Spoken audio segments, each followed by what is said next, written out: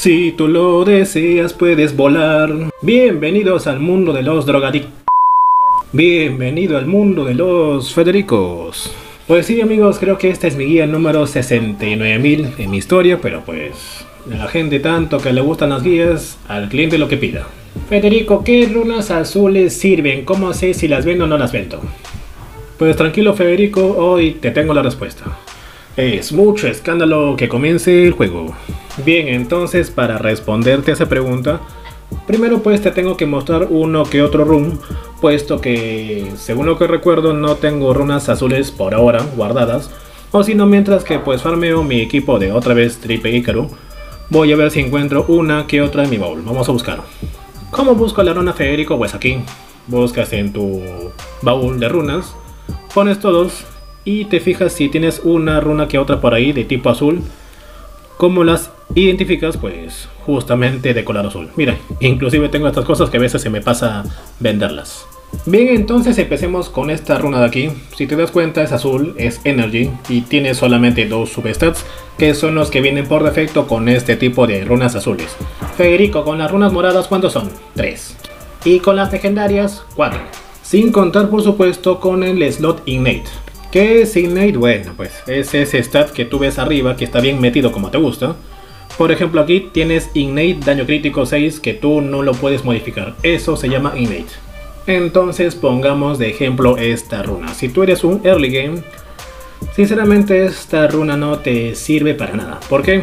Porque idealmente debes buscar desde el inicio speed y tasa crítica. Al menos es lo que yo siempre busco. Si esto fuese HP, quizás no te lo voy a negar que podrías buscar doble rol de HP. Federico, ¿cómo sé cuántos rolls tiene cada runa? Bueno, pues en las azules máximo se puede ir dos veces, en las moradas tres y en las legendarias cuatro veces. Entonces, si esto fuese pues HP en lugar, no sé, de daño crítico o precisión, pues si sube dos veces esa cosa, quizás me la podría quedar. Pero como no es el caso, pues yo la vendo. Vendemos esta porquería y buscamos más ejemplos para que tengas una idea, a ver si encontramos algo interesante o que tenga potencial.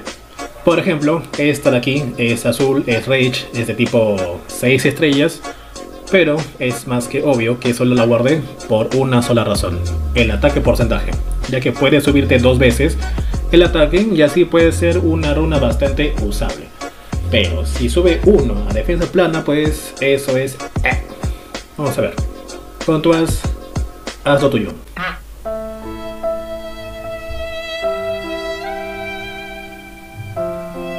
Con tu as algún día te buscaré, te encontraré y te mataré.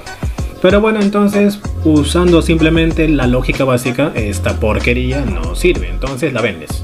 Una vez más, no es obligatorio que lo hagas, puesto que una runa así siendo novato, puede servirte por el momento hasta que pues la potencies a 12 y encuentres otras runas que reemplacen esa runa, pero por supuesto de mejor calidad.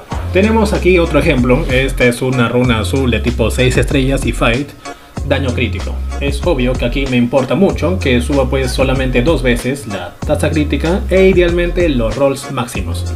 ¿Cómo sé cuáles son los rolls máximos? Pues tienes que buscar la tabla en internet. ¡Hijos de putitas! Veamos ya que las runas de tipo daño crítico y mucho, con mucha más razón las de tipo fight son raras, es por eso que la guardé. ¿Cuántas? 4, para la puta que te parió. 4, bueno, es el rol mínimo, lamentablemente. Y si esto va una vez más a tasa crítica, pero 4, sinceramente es un me. Aunque podrías usarla pues en monstruos de tipo relleno nada más, para que justamente cumplan el fight el CD Fight. Acá por ejemplo subió 6 y podría ser usable pues en cualquier monstruo simplemente de tipo PB. Por ejemplo que pongas a una... Más tarde. A una Harpy digamos, para que hagas ese récord que pues la gente usa, ya que esa Harpy pone branding en la vez rompe defensa. Ya, pero simplemente la dejaría ahí por si acaso nada más. Aquí tenemos un ejemplo más interesante, esta es una runa wheel de tipo 6 estrellas, slot 5, y tenemos en substats tres cosas. Bueno, la tasa crítica que está de forma innate, o sea, bien metida como te gusta. el ataque el más alto que es 8 y el speed más alto que es 6. Entonces, en cierta forma, esta cosa tiene potencial. Una vez más, si has aprendido algo de lo que te he dicho en este cochino video, ¿cuántas veces más pueden subir cualquiera de los substats? Dos veces. O bien puede irse dos veces al ataque, dos veces a la speed, o simplemente 1-1, que sería pues el peor de los escenarios. El mejor escenario por supuesto que sería doble speed, 6, 6 idealmente para que tenga pues 18. El que le sigue por supuesto sería ataque, doble 8 si no me equivoco, 8, 8 para un bomber por ejemplo. Y el peor obviamente pues sería 1, 1. Entonces ahí más o menos te vas dando cuenta si la vendes o no la vendes. Una vez más, yo hago esto según mi nivel, pero tú pues siendo un novato, si es que me ves, y tienes esta runa por ejemplo, si sube 1-1, pues úsala por el momento hasta que consigas algo mejor. Solamente esa aclaración porque después si no me dicen, pero Federico, esa runa le sirve para un novato. Por supuesto que sí, pero para mí no. Es simplemente para que te hagas una idea y para que te vayas acostumbrando a más o menos qué runas debes guardar y qué runas mandas a carajito.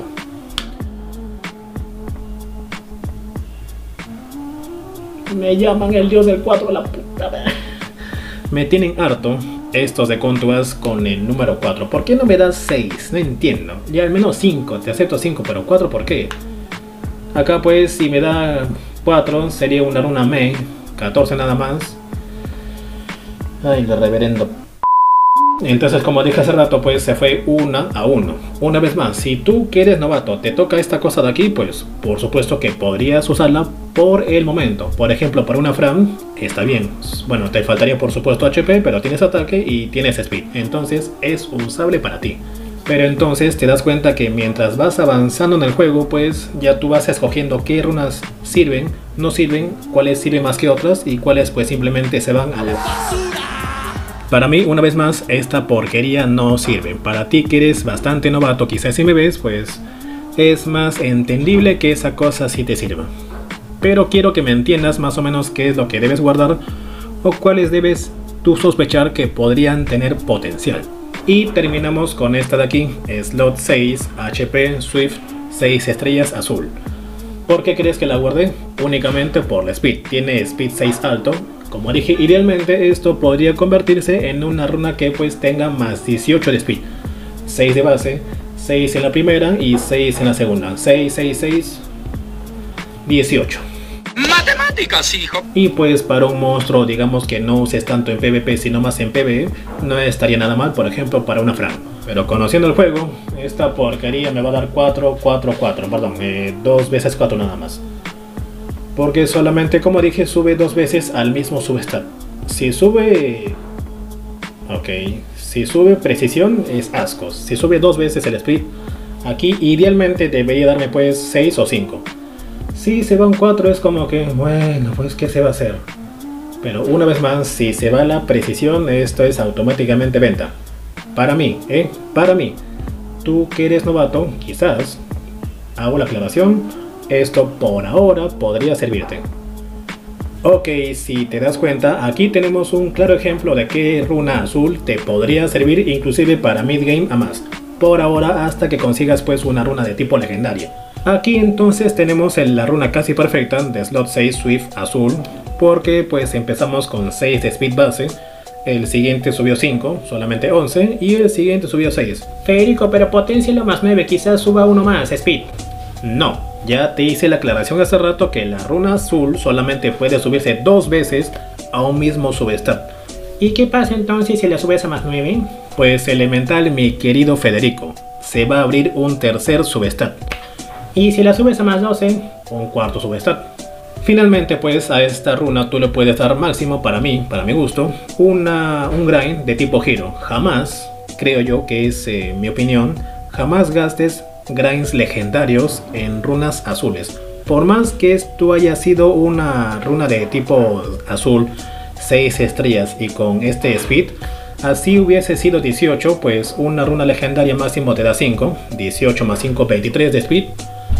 Haya tú si quieres gastar una runa, perdón, un grind legendario en una runa azul. Para mí es un total desperdicio. Siempre pues, por lógica nada más, debes juntar legendario con legendario, giro con giro, eh, azul con azul. Bueno, rare con rare, rare con rare. Salvo ciertas excepciones, podrías dar, por ejemplo, yo, si es que tuviese, pues un grind de tipo morado nada más, giro, y subiría pues entre 3 y 4. Digamos, podría tener acá más 20 o más 21 de speed. Nada mal para empezar.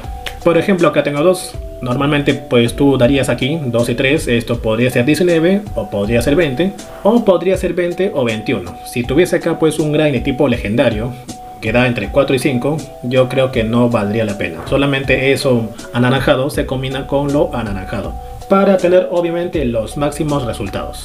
Entonces ya te habrás dado cuenta cuáles runas sirven, no sirven o posiblemente pues tengan cierto potencial. Y las otras van directamente a la basura. Y es así como el Federico lo dice. Una vez más, esta solamente fue una mini guía, puesto que el tema de las runas azules es más amplio. Puedes buscar por ejemplo doble rol de HP, puesto que no todo monstruo funciona con speed, es lo más ideal. Yo siempre te recomiendo que busques speed y tasa. HP podría ser, pero lo demás no. Precisión, eh, resistencia, no. Si tienes algo más que agregar o simplemente tienes una duda, pues déjalo tranquilo en los comentarios. Eso sería todo. Suscríbete, coméntame, dame like y nada más. Y por supuesto, salúdame a tus runas blue. Y si no, pues váyanse al